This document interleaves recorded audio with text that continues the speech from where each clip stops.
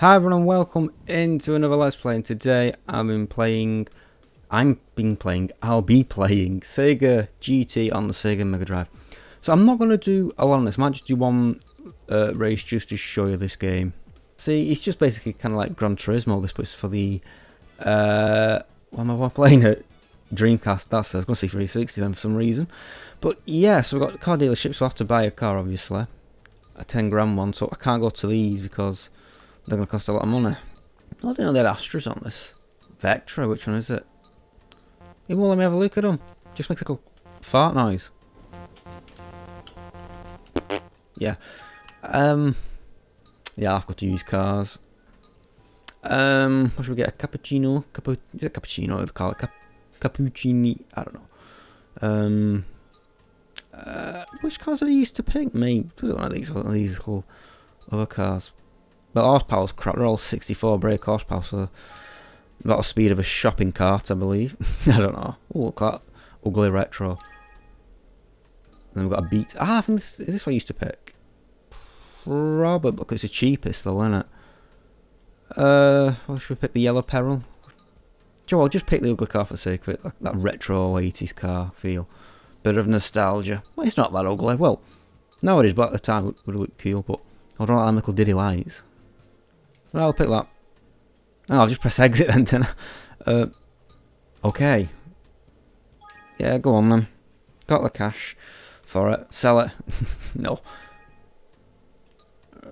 Now we've got the car. Let's see what we can tune on it then.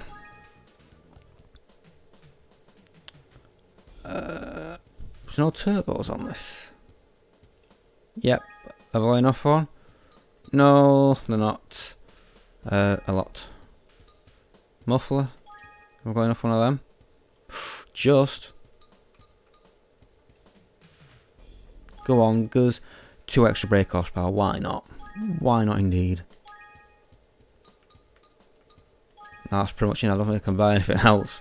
Unless there's a really big discount sale today, which I very much doubt there will be. Oh, and as well, here's one thing I loved about this particular game is you can see at the top right, you can build your own car. So we've got a factory, build your own car.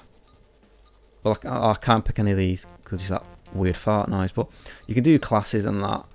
So if I, if I want to do like extra class, let's do a, a thousand for example. So you got all these specifications, and now you can pick a car if you want it slow, fast. Oh, there's only two options, so presuming probably line is the best. So let's just pick that. Oh, I won't give me insufficient funds. Bugger. No, if I press three, then it gives you these little um. The next stage is the bodywork of the car, which you, you can't make yourself, but do have options for body work and that. And you can name your car and have it as front wheel drive, rear wheel drive, or four wheel drive. And yo, it's, it's, that was a good thing at the time. At least I had like a one up on the uh, Gran Turismo series. Because I think at the time this was competing against Gran Turismo 2. Right, we'll do an open one. The Mackie D's. Um, are they the same courses or are they different, aren't they? Sky Peak Hills. Oh, Sky Peak Hill, Sky Peak Track, and Deep Rock Road. That's a really boring track. It's just wide open. It's just really dull. But I think, which one is it? I think this one is quite a nice looking track. Now, there's one big problem with this game is that the steering is a bit naff. But when I was looking in the menu system, you can actually tweak the handling. But I, I've not got the time and I can't be really asked to do that. So I'll just leave it as, you know, factory settings.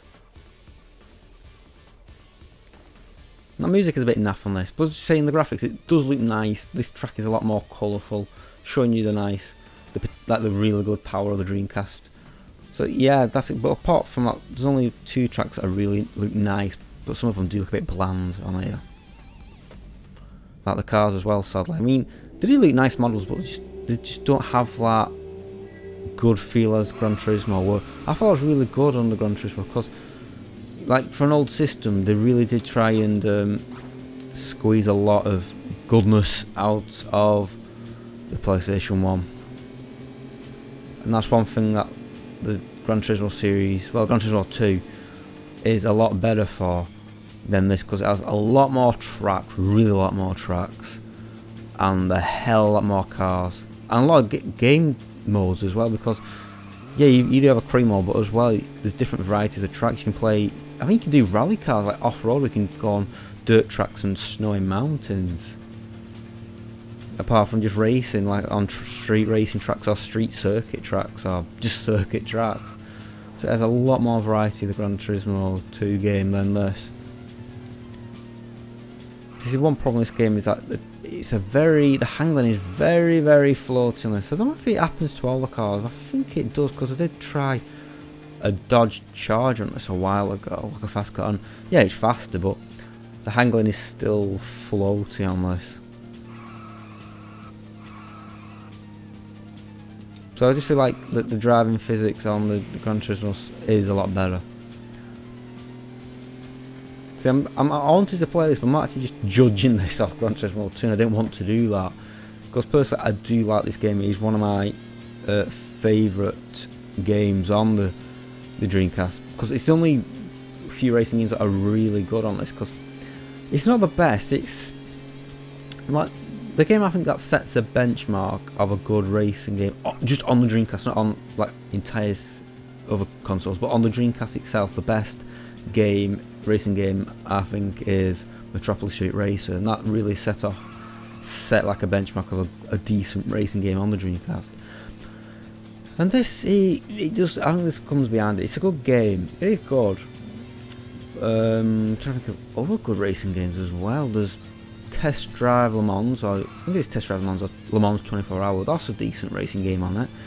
There's Ferrari Challenge, which was, oh, was it Passione Rossa or something? F3 5 challenge or something. That was a really nice game with graphics.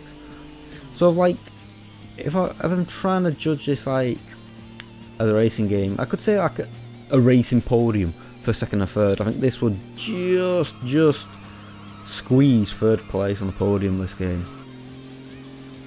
Because it's in the middle. It's it's not as good as uh, Metropolis Racer, but it's a lot better than Vanishing Point. And if you don't know what that game is, then I'll leave you a link in the description because I played that game a while ago. And it, the handling is, even I call this game is float angling. Look at the physics on that game, that is just insane. So there you go, that's just Sega GT and the Sega Dreamcast. One of my favourite games on the console. Not the best, but one of the best. So yeah, thanks for watching guys, and I will see you soon for some more Let's Plays. Bye bye. Take care.